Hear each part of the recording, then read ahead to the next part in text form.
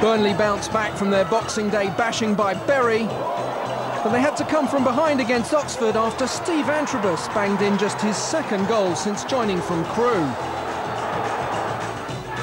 Phil Whelan seemed determined to gift Burnley a penalty. Almost a handball, followed by a foul on John Mullin. Andy Payton brought Burnley level from the penalty spot. Centre-half Whelan did his best to make up for his first half misdemeanours when he nodded Oxford ahead again. But the Clarets kept up their promotion challenge by taking all three points with two goals in the last 10 minutes. Andy Payton with the equaliser. And right at the end, Payton again to earn the match ball with his 13th goal of the season. That's just four points out of 12 now for Oxford.